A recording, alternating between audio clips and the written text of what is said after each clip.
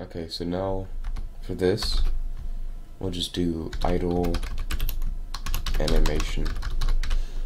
To do a comment, what I'm doing here is uh, forward slashes. They'll give you a comment on just this line. If you want to do a comment that comments everything until you tell it to stop, you can just do a uh, forward slash and an asterisk, and they'll comment everything until you do an asterisk forward slash. But we don't, it's not necessary for us right now. So idle animation, and we would do if, we can just copy this.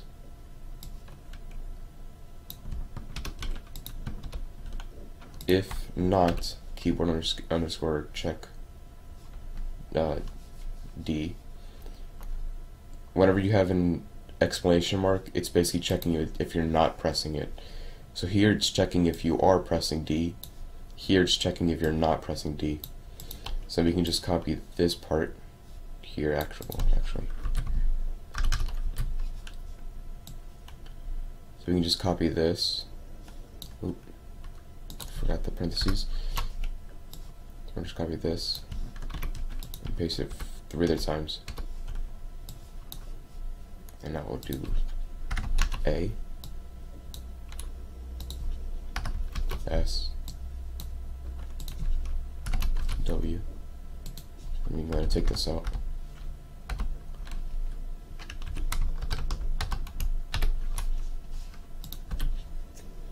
Now for this we'll do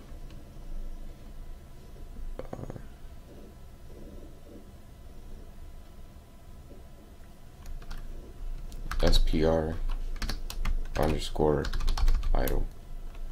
No, wait. Um,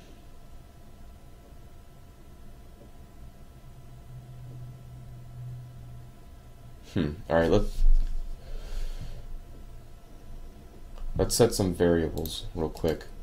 So we're gonna add another event, uh, which is will be the create event.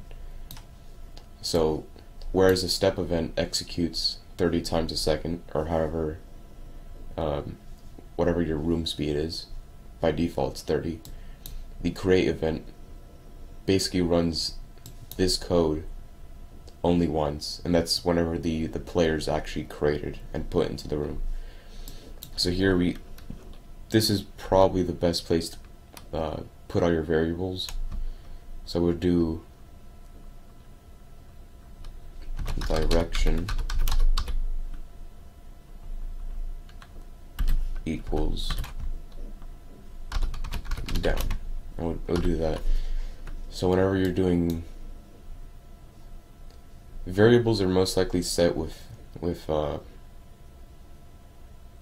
with numbers, but you can also do it with words. And the best the best way to do that is with uh, you have to put these quotes, quotation marks. And so now here we'll do direction equals down.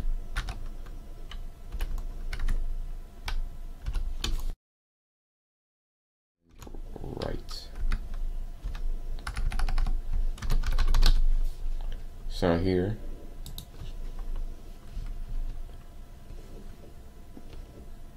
Okay, so here we can check, we can, since we're checking with the if event, or step, we're basically checking if we're not pressing any of the, the movement keys. And now if we're not pressing any of the movement keys, we're going to check what direction we're facing. So if direction equals if direction equals down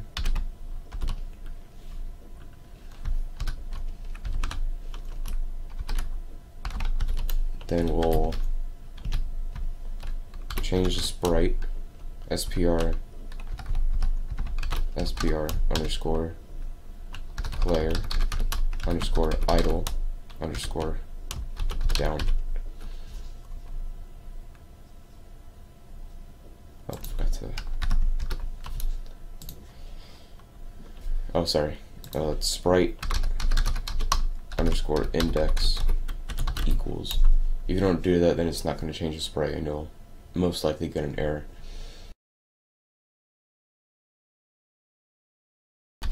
Okay, so now that you have all of your your idle animations set up,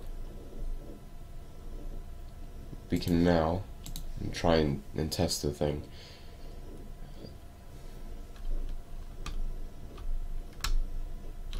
Okay, so as you can see, he stops every time we, he stops, quote unquote, walking every time we let go of the key. So right now I'm not pressing anything. And if we walk down, he stops uh, with the animation. Before, he would he would have kept doing the animation. Uh,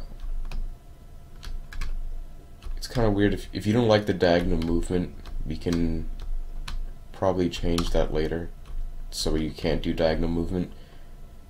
In most modern RPGs now, you have diagonal movement, or RPG style like this, I guess.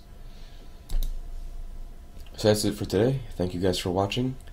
Uh, tune in for more if you have anybody that wants to learn RPG or how to make RPGs in Game Maker. Uh, direct them to the channel. So again, thank you guys for watching.